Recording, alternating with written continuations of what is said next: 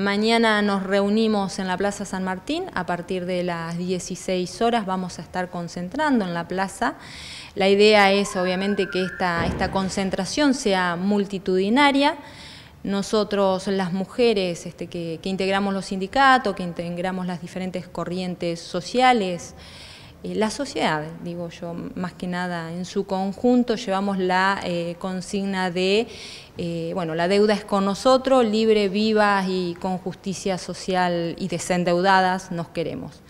Eh, esa es la consigna fuerte que, llevamos. Este, la idea es que bueno, mañana sea una marcha multitudinaria, como ha sabido ser en otras oportunidades, convocando también bueno, y recordando a estos ocho años que las mujeres venimos manifestando este, bueno, lugares dignos sin violencia, sin violencia física, simbólica, social, institucional. ¿Cambió algo estos, en estos últimos ocho años, digo, desde la primer ni una por lo menos aquí en La Pampa?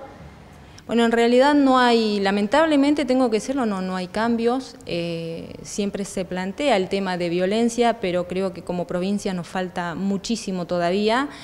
Eh, nosotros desde la multisectorial de mujeres este, hemos ya hace dos años presentado un proyecto donde precisamente pedimos ¿no? este, y que se trate esta emergencia contra, o sea, de, violencia contra las mujeres.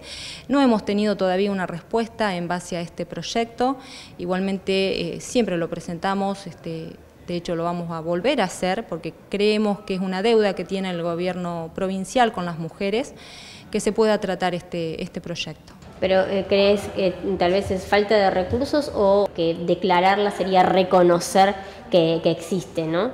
Bueno, es, evidente que en la provincia no hay recursos, no por nada están las compañeras reclamando en el municipio que no tienen lugar para atender.